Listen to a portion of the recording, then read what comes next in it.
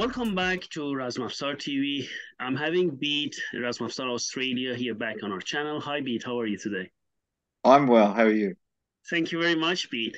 Today we are going to talk about South American archery, or I mean also Amazon, and in that area. And so, please describe yourself. What are we going to talk about explicitly today? Well, see, I mean, South America is a huge continent, and archery was practiced from the northernmost jungles all the way down to Tierra del Fuego. And I've actually seen um, arrows and a quiver from Tierra del Fuego, uh, you know, like from from me to the camera uh, away um, in the um, Grayson collection in the uh, University of Missouri Columbia in the Department of uh, Anthropology. Our American friends can arrange to go and see this collection. There's about 5,000 archery items, including everything from Persian bows to um, the most basic uh, uh, of South American bows. Mm-hmm. South American bows have been written about for quite a while, aside from the historical reports of people um, rowing boats up rivers and getting shot at by the, the locals who didn't want them rowing up their rivers.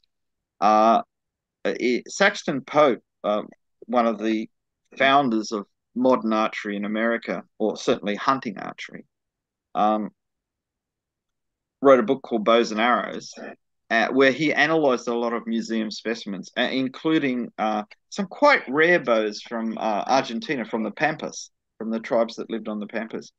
Um, very, very long self bows.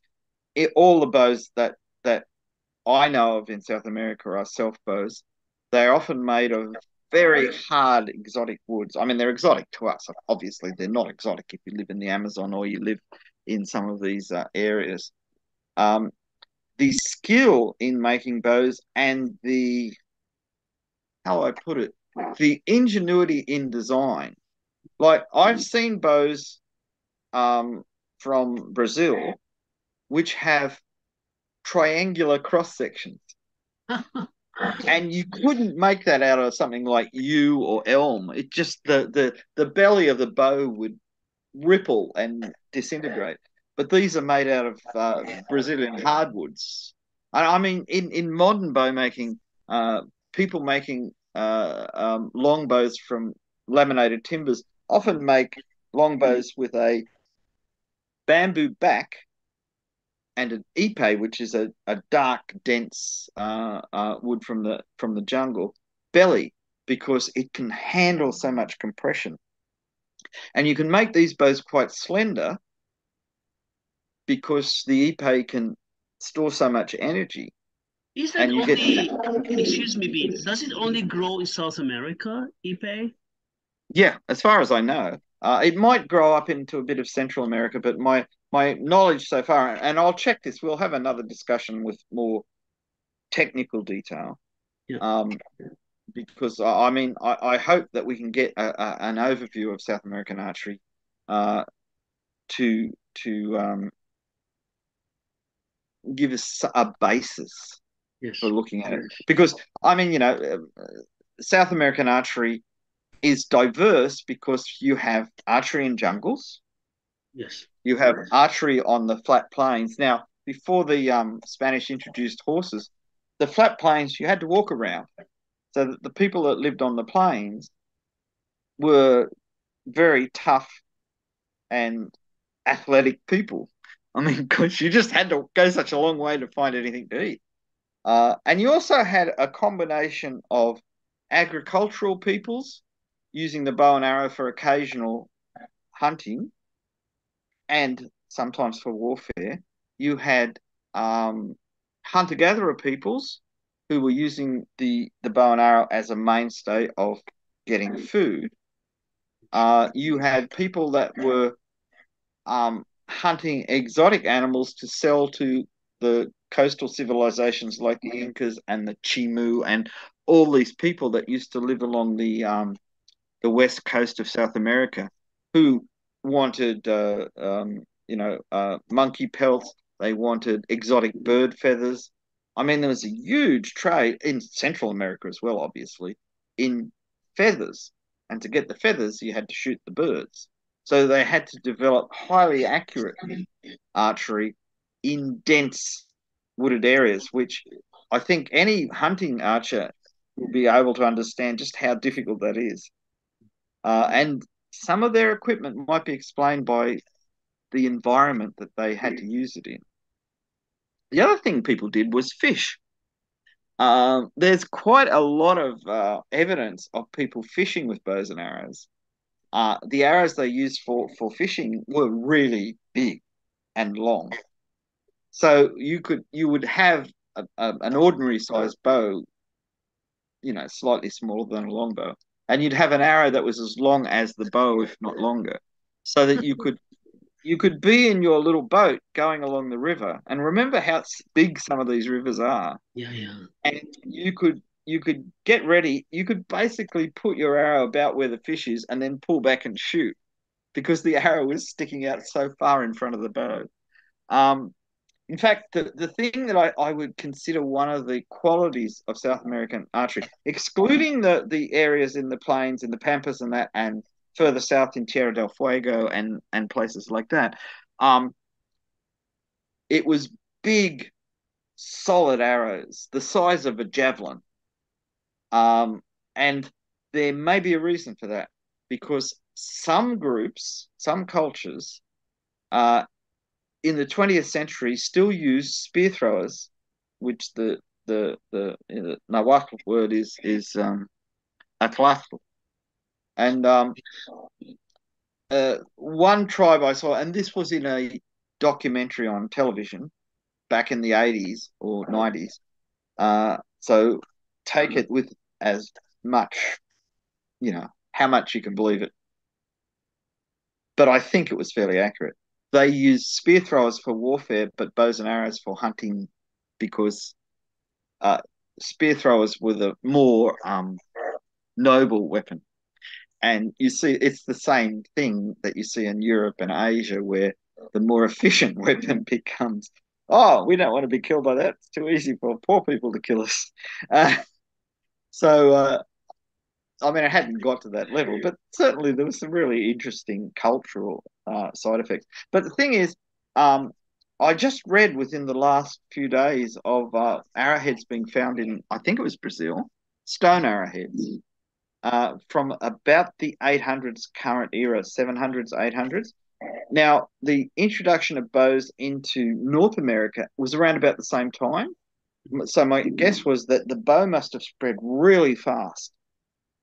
Um, it, it wasn't like a like when people moved into the Americas from Asia, they didn't bring bows with them because bows weren't in, used. I mean, they they were invented. Bows were invented back in the uh, you know sixty thousand years ago, but they hadn't travelled when people travelled. So when uh, the Aborigines reached Australia uh, sixty five or seventy thousand years ago, they brought spear throwers.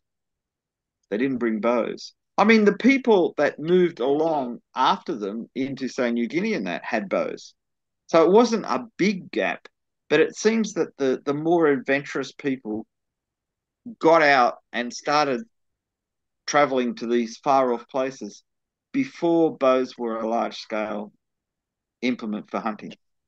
Uh, the thing is, spear throwers, they're robust, uh, they're basically one piece things. You can carry a, a handful of spears, uh, which, you know, I've seen film of Aborigine people in Australia doing it. And when you see um, uh, um, film of South American uh, people, they often carry their arrows, which are almost the size of spears, the same way as the Aborigines carry their spears.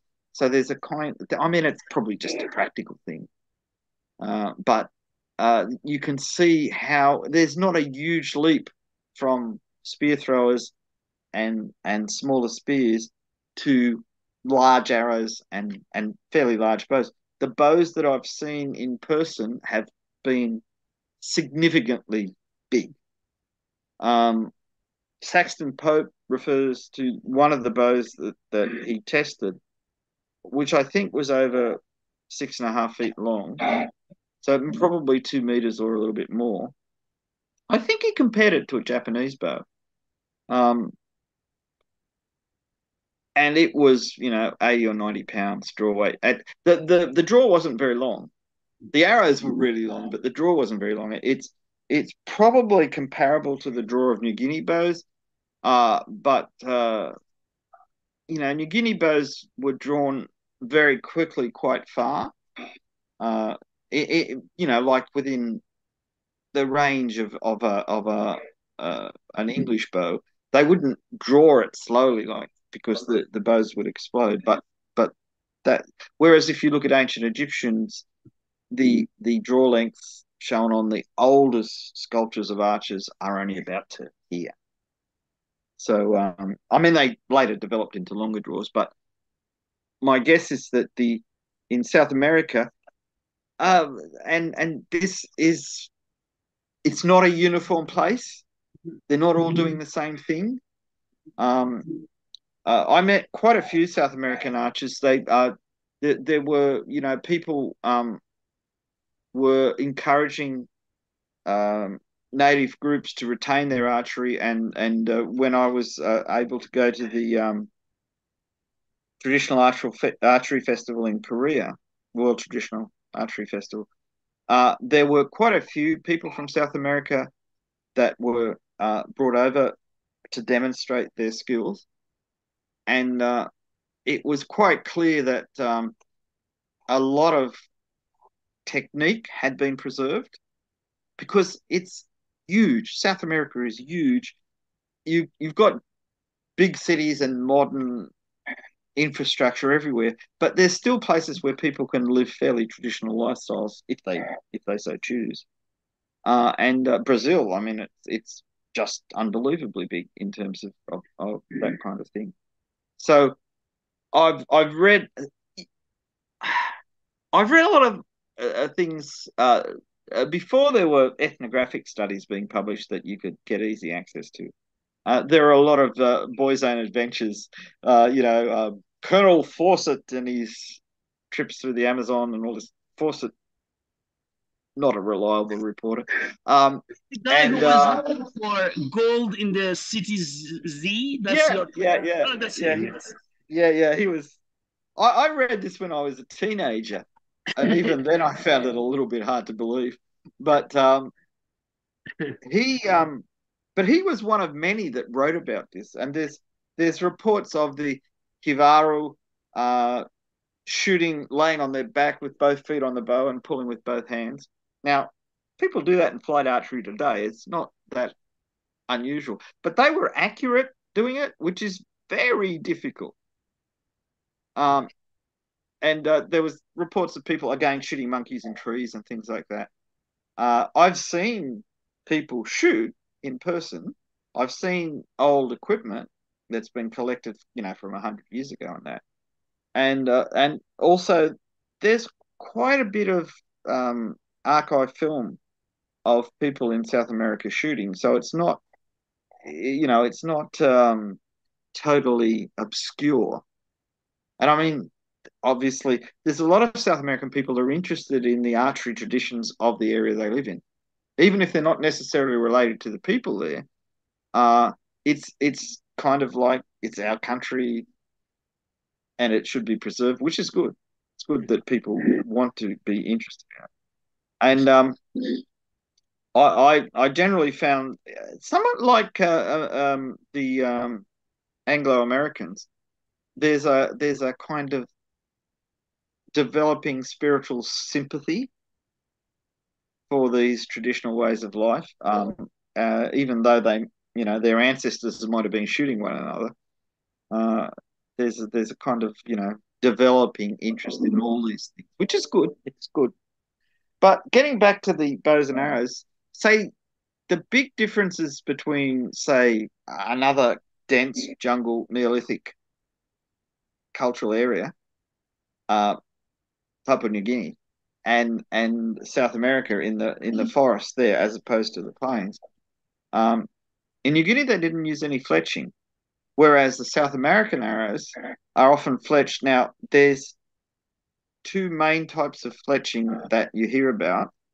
Um, one is called tangential fletching, where you take a whole feather, not split or cut or anything, and you get two of them and you just bind it to the shaft, and they form a really quite effective um, uh, mechanism for putting drag on the shaft, so getting an accurate flight.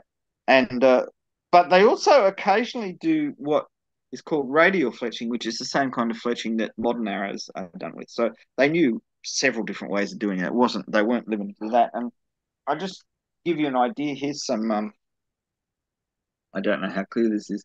Here's oh, some. Uh, yeah. So these these are fletched arrows. Um, the this is from uh, um, the Grayson collection, uh, traditional archery of six continents.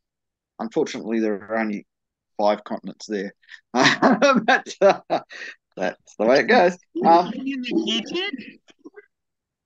yeah, well, it, it, says traditional archery from six continents. Where is the sixth uh, continent?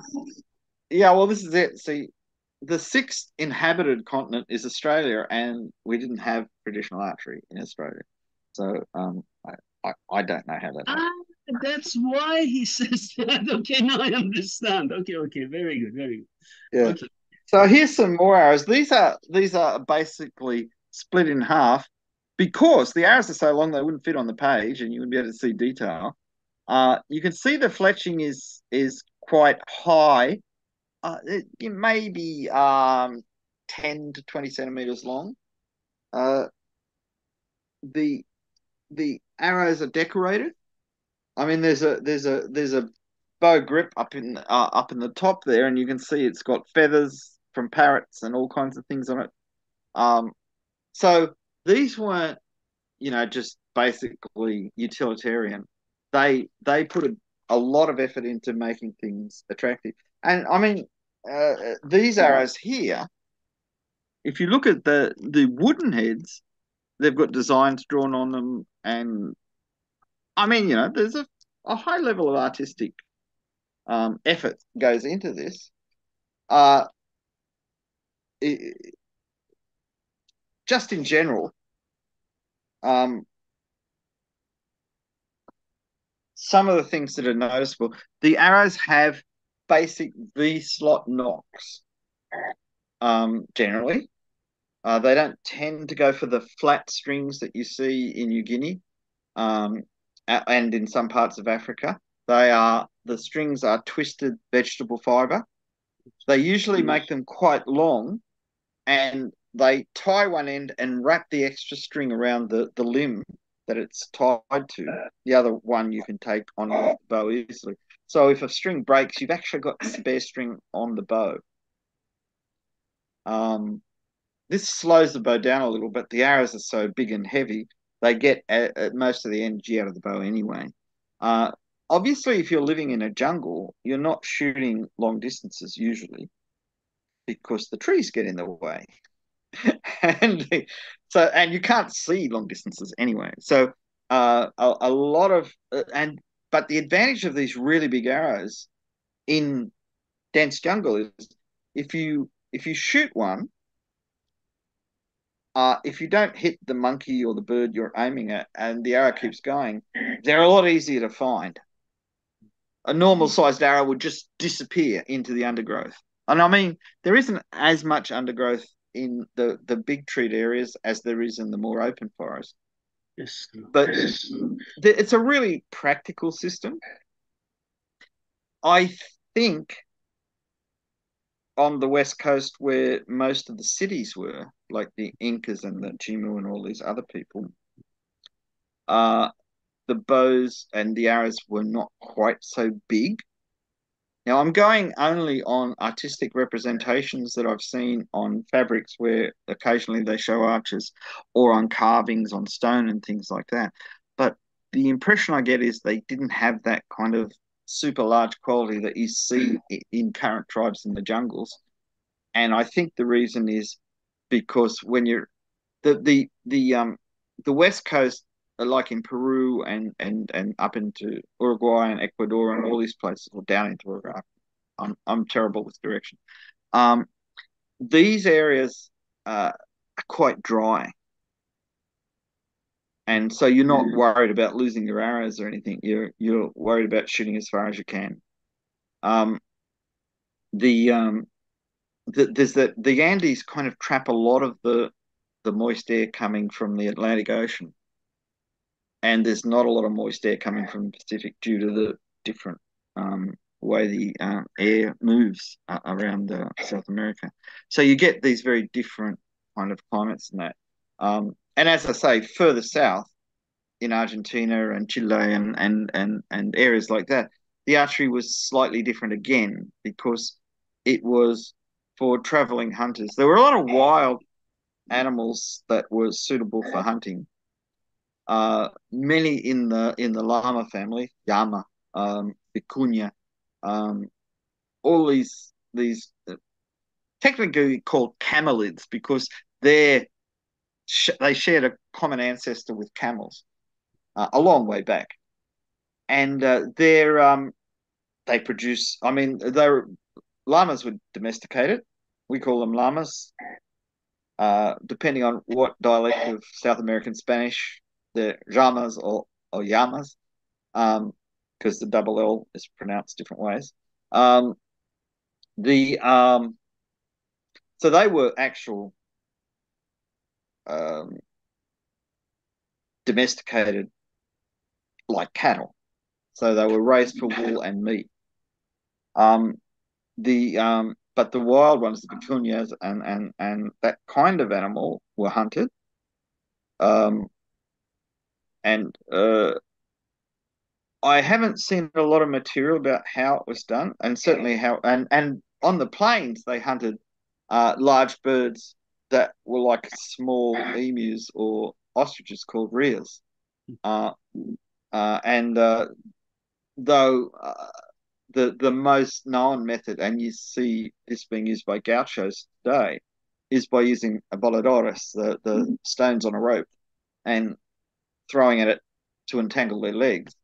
Um, but almost certainly they were being shot as well, because uh, that's just inevitable. As I say, um, the, the, the bow progressed from these recent discoveries. It looks like the bow progressed quite quickly into South America after it, it reached North America. So we're assuming the bow came from uh, Siberia across the Bering Strait.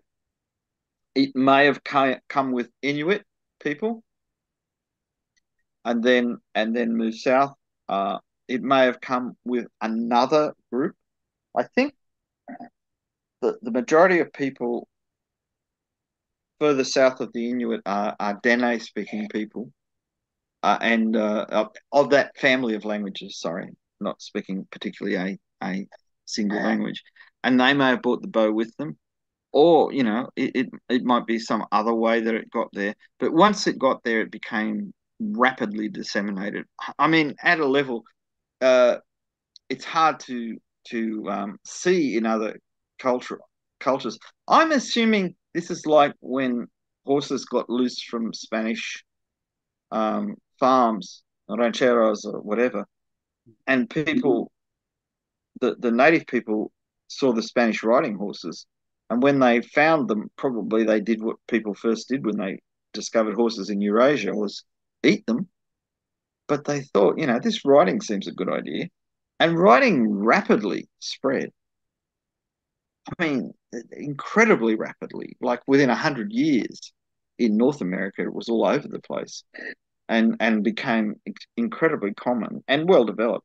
And you look in South America, we, we see more of the kind of um, European and Indian peoples adopting. I mean, the Europeans bought riding with them, but the the the riding styles are specific to certain areas of Spain, really, uh, and so are the saddles, and and so there's a lot of cultural input, but the people that were already there could see the usefulness of it.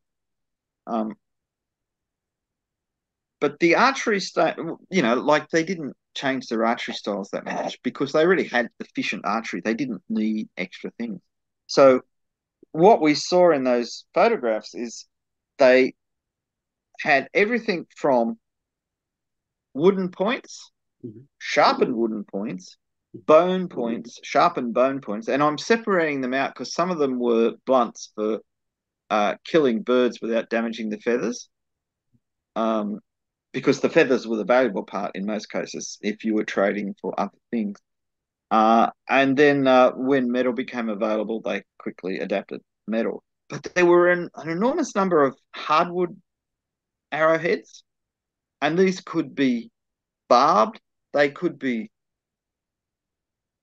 three part, like there were there were three um, separate heads, sometimes bound together, um, sometimes separate, sometimes with backward uh, pointing barbs on the insides where they face each other. These almost certainly are for fishing. Um, and when you consider the the kind of aquatic life in the Amazon and its tributary rivers and you know other big rivers, there's a lot of potential um, food there. I mean, some of the fish in the Amazon are monstrously large, and and that's a lot of food.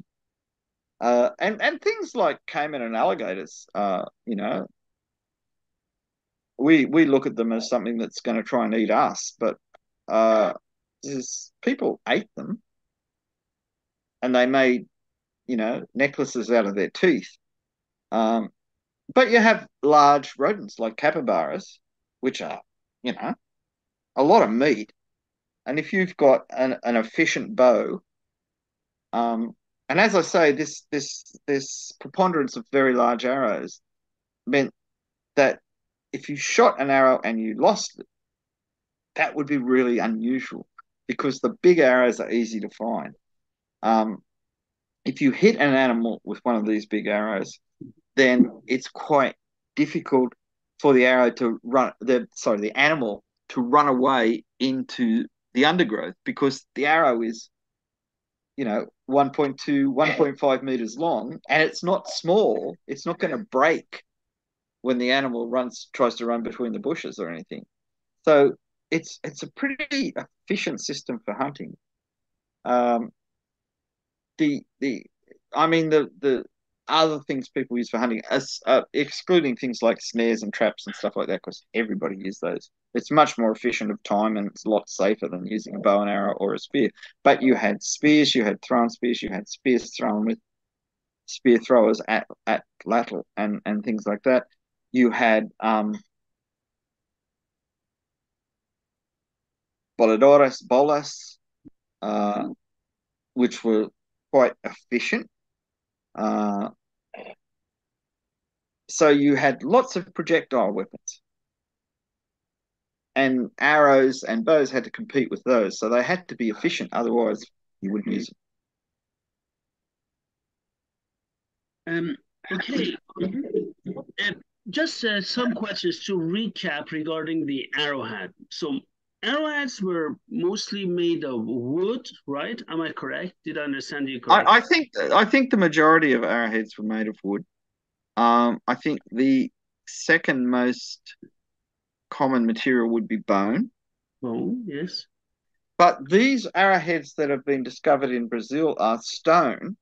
So maybe they were more common than they, uh, you know, than we understand. I mean, some of the arrows in here in the in this book had stone arrowheads too. So that, but the thing is, if you've got all this abundant hardwood, which you can carve when it you freshly cut the tree down and then let it dry out and it becomes this super hard material then it's it's an obvious choice um, but if you live in an area where you've got nice snappable stone um, then that's another good choice mostly the arrowheads were attached with tree gums and vegetable fibers. Um, there's very little, I've never seen any sinew discussed. I would imagine, certainly in the jungle areas, it would soften from the high humidity and rot from the wonderfully abundant types of fungus that live there. Um, so, and there were a lot of good, useful vegetable fibers that, mm-hmm. that could be used. And back to wooden arrowheads, were they made of one piece together with the shaft, or do we have examples which were separated as well? Uh, they're nearly all separate except for the blunts. Except so um, the um, if you look where the arrowheads join the shaft, you'll see that the shaft is an entirely different material. It's a type of bamboo, basically. Yes. Or, or giant reed.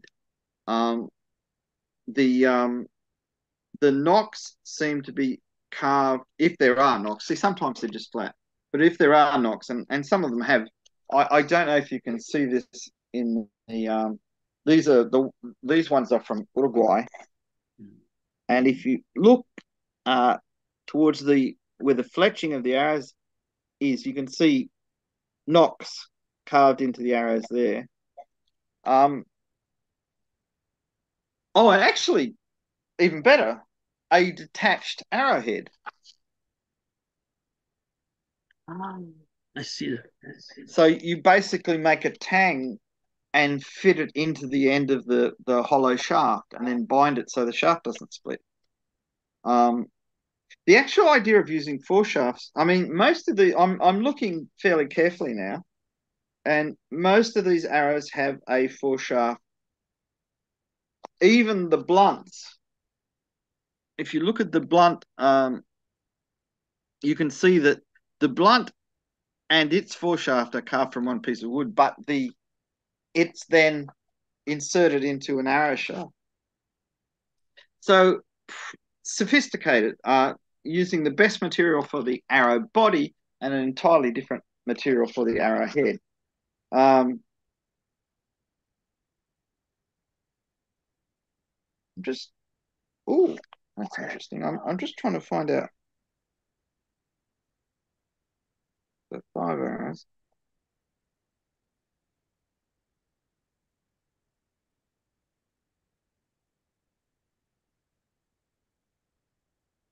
So according to this, they put a black pitch over the plant fiber bindings that were to stop the shafts from splitting. So the pitch would both act as a glue and a, um, a water preserving uh, material.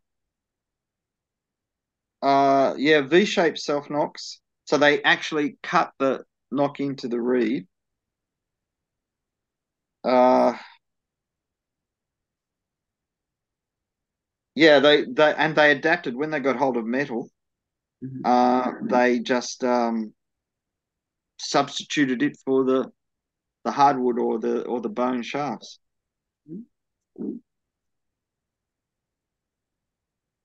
So uh, it, it looks like when they used radial fletching, where you split the feather and, and glue the end to the the, the, the, the rib to the shaft, um, some of these were just two feathers, but they were put on with a slight spiral to increase the spin uh, or increase the drag.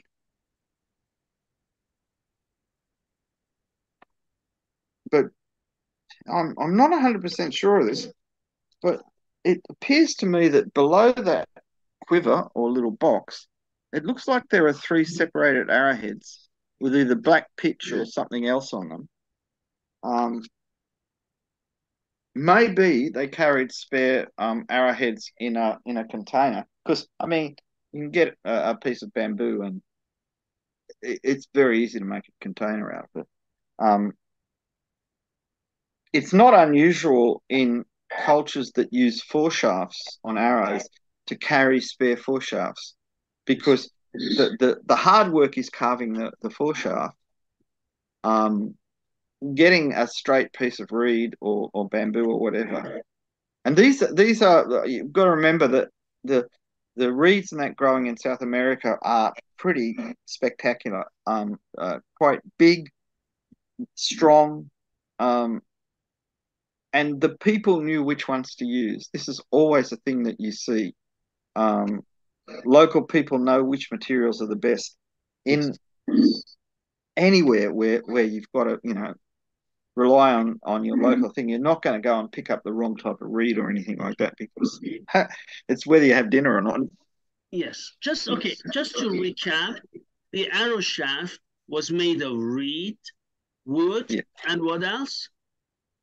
Um, so the the the the basic the, the body of the arrow is a, is a is a large reed, large diameter reed. Um, the nock is carved into the reed.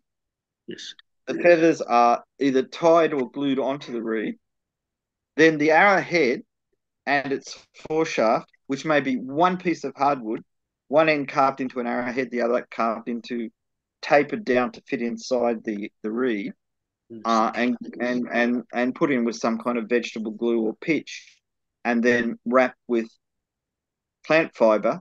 And then sometimes that plant fiber is also covered in pitch to waterproof it and glue the, so that it's smooth. Like when it goes in, it doesn't um, stop the arrow from penetrating. And also, so you don't. I mean, you with the style of shooting they use, you're never going to have the arrowhead near your hand. It's always going to be half a meter to a meter in front of your hand, even at full draw. Okay. Um, but uh, yeah, it's so I, I would see them as basically two part construction. The front part is the arrowhead, and it's quite large, and the back part is the reed shaft, which Mhm. has any feathers glued or tied to it, and a knot cut into it. Okay. And the feathers, which type of feathers did they use?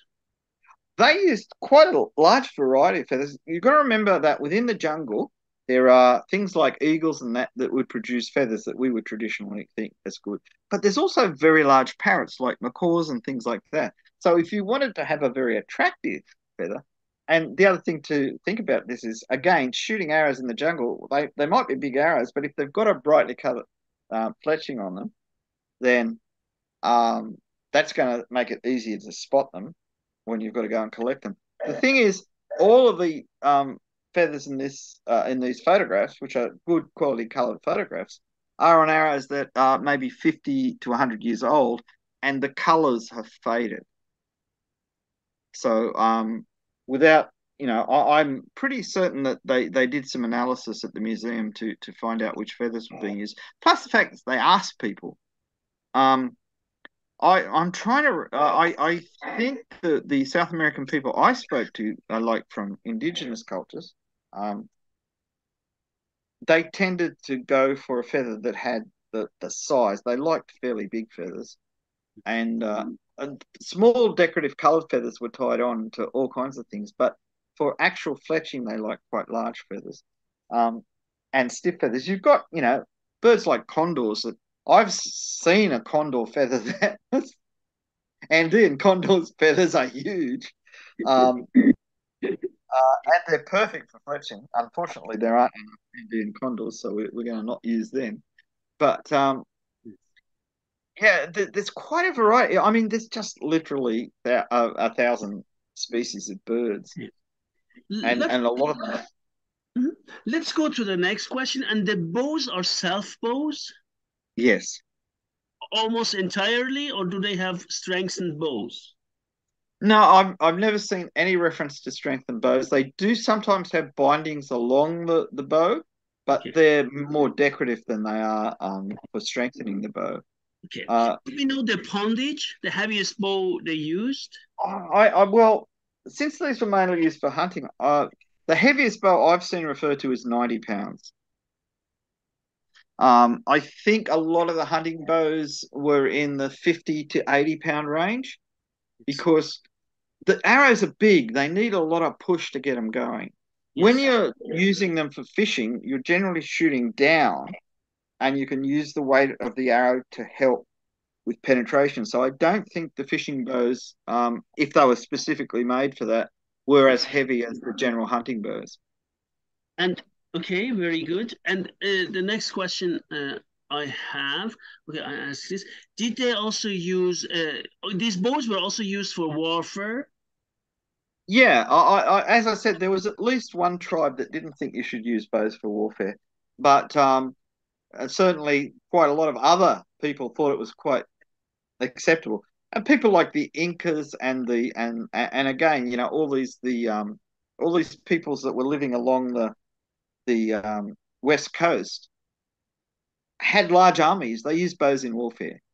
Uh, I mean, we don't hear a lot about that because uh, when the Spanish conquered uh, uh, the Inca Empire, they pretty much suppressed everything that they could because they didn't want the Incas to kick them out. So uh, archery as a as a as a martial art, I think, was suppressed. But people living, you know, uh, in the jungles or on the flat plains, they weren't as interfered with. Um, the spread of cattle ranching on the pampas meant that either the native peoples were absorbed into the gaucho culture or they were driven off. Um, I I haven't studied South American history well enough to know how good or bad things were. Um, I certainly met quite a few people that had definite. They were proud of their heritage from native peoples there. So it, it's they certainly weren't wiped out entirely, but I think there was some pretty serious, um, as the as they call it in Europe, racial cleansing going on at the time. Yes. Uh, I, I don't know if you've read Voltaire's Candide. There's a section in that about the uh, how the um, Jesuits in South America were trying to stop the government from enslaving all the native population uh, yeah. because they wanted to spend their time converting them to Christianity. And there was this kind of like, for a while, there was almost a Jesuit republic in, in South America. Um, but it, it, you know, uh, the exploitation of the native peoples was economically important, so it was yes. pursued with great vigor, unfortunately. Yeah. Okay, another question, or two more questions I have. Yeah, Do sure. we have different types of arrowheads which they used? Oh yeah, there's quite a large variety that I can see. Um, from the ones that I actually got to handle in that, uh, there were narrow bladed arrow, like long spike arrowheads made out of um, hardwood, mm. which as I, I would see them having two major purposes. One is uh, maybe to shoot at people.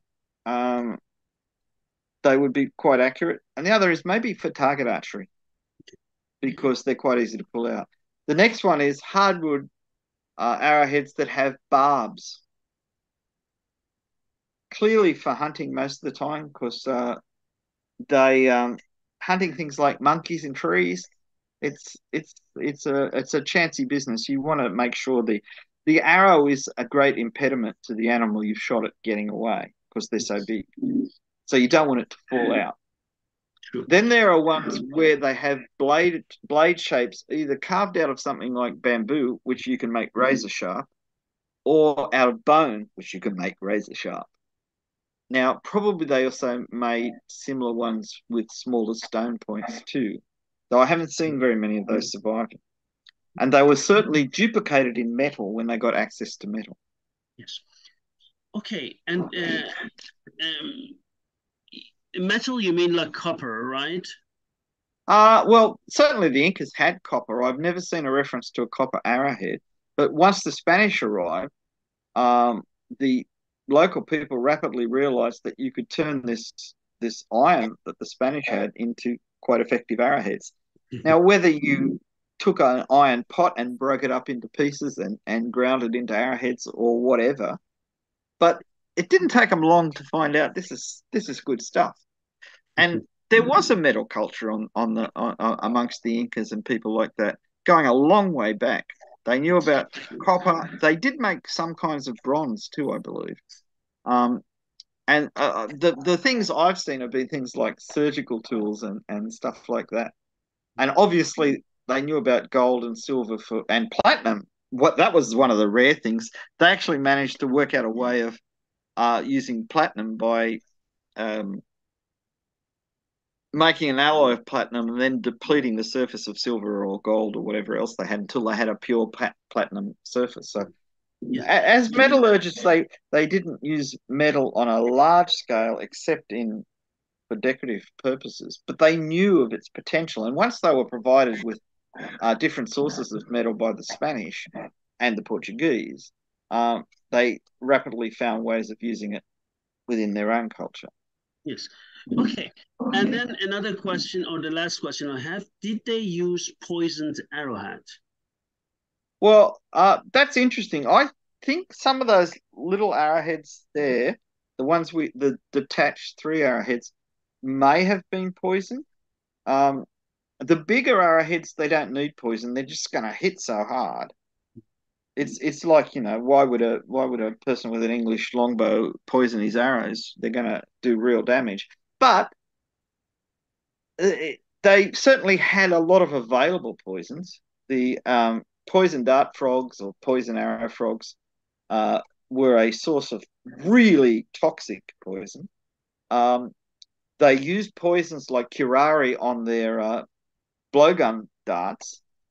So it's not outside of the realm of possibility they used them on arrows. But the big heads, I don't think they would have used poison on. Maybe the slender heads with barbs they could have.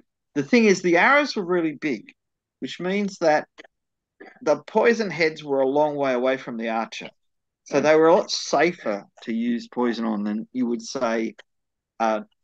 You know, they talk about those little bronze Scythian arrowheads. Sometimes they have grooves outlining the edges, and and some um, historians say, "Oh, that was for poison." And of course, you have um, uh, the Roman poet talking about them shooting poisoned arrows, but that may have been poetic.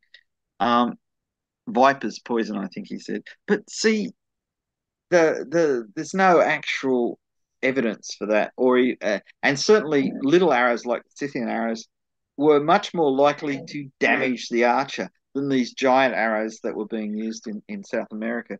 So, if they did use poison, uh, I think the archers were a lot safer. It's possible that those little arrowheads were kept separate in a container and then put on when you actually went out to go hunting. Uh, that's certainly similar to what was done by the San Bushmen in, in South Africa. Uh, so uh, there's places where the bows were quite powerful and they still use poison. Um, and there's parts of Africa where that was so. And there are other places where the bows were powerful and they didn't use poison. And that's a lot in places where you draw the arrowhead right back to your hand, as opposed to having part of the arrow sticking out in front of the bow. Um, I mean, I can understand in Africa if you're hunting something the size of an elephant, then maybe you want all the help you can get. and there's certainly in China there's references to poisoned arrows, uh, and and because in in Southeast Asia, uh, crossbows were made to shoot poisoned arrows, because again thick jungle but fairly lightweight projectiles, you wanted something that would eventually kill the animal. And they were brought into warfare in China. So, um, in the, uh, I think in the Song and Ming dynasties, it's not uncommon to see pictures of crossbowmen with little gourds yes. to contain the poison.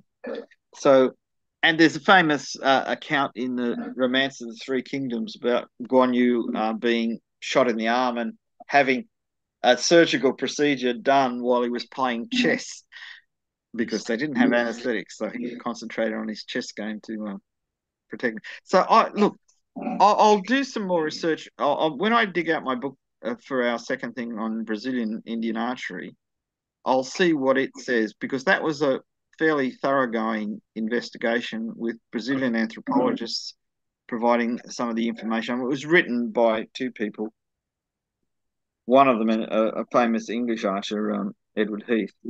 Uh, but uh, I, I, off the top of my head, uh, I can't remember for sure.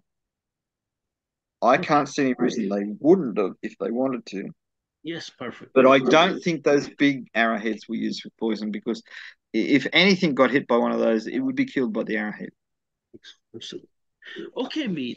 Thank you very much. Uh, at the end of our discussion, so we are going to have a follow up. We go to Brazil yeah. and then, so the, this is the first part of South American archery, and then we will continue with uh, with then the next one, which is we go into detail in Brazil and the, that area. Yeah. Okay. Thank you very much, Bede, and I wish you a nice day. Thank you. Thank you very much. You too.